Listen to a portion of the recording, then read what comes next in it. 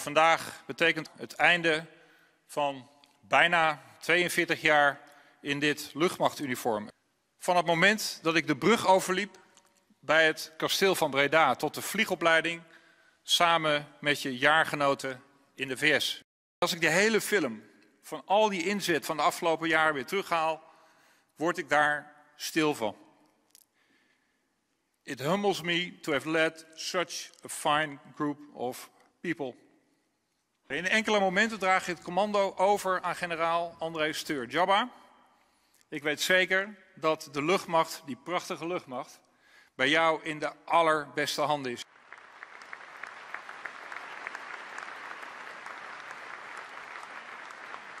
Het motto, je zei het zelf, één team, één taak. Dat was niet zomaar een kreet. Dat was echt en jij was daarvan de personificatie van het luchtwapen. Daar kan geen twijfel over bestaan. Nu niet en in de komende decennia niet. En onze luchtmacht is en blijft een ijzersterk merk. Beste Dennis, is het mij een groot genoegen om je te mogen mededelen dat het Zijne Majesteit de Koning heeft behaagd je te benoemen tot officier in de Orde van Oranje Nassau met de zwaarden. Ik wil nu heel graag overgaan tot het uitreiken van de bijbehorende officierselen.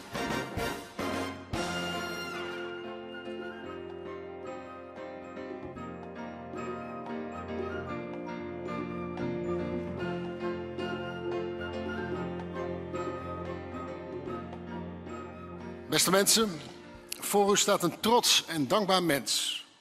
Dankbaar weer terug te mogen keren bij de mensen van de luchtmacht. De beste luchtmacht van de wereld.